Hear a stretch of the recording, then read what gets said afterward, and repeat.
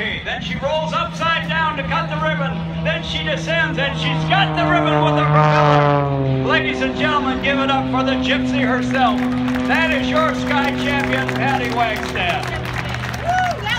Oh, baby, not many people can do that.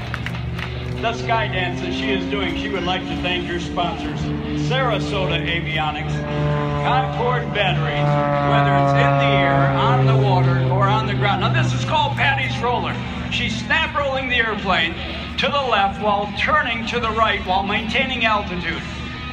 There is so much disorientation. This is one of her signature maneuvers. Now, she's got to break it off by FAA rules before she faces the audience. Back in the old days of competition, she did a complete circle.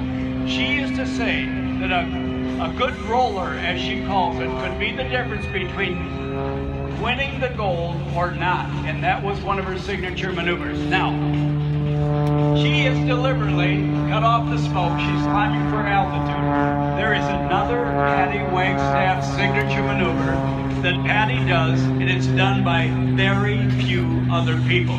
She will do in the air a loop, but it'll be an octagon loop. Now that's hard enough to do. What she does to add to the difficulty factor is on each one of the eight sides, she will roll the aircraft and she will alternately switch from pulling positive G's, which force you down into your seat, switching that with negative G's, which try to pull you out of your seat.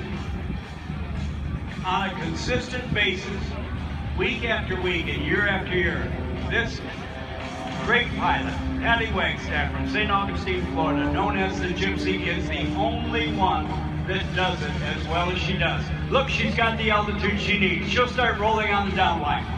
When she gets flat, we'll start to call that first angle. All right, Gypsy, flatten it out. Okay, now pull here and roll the airplane one time. Now push the stick forward, roll the airplane another time.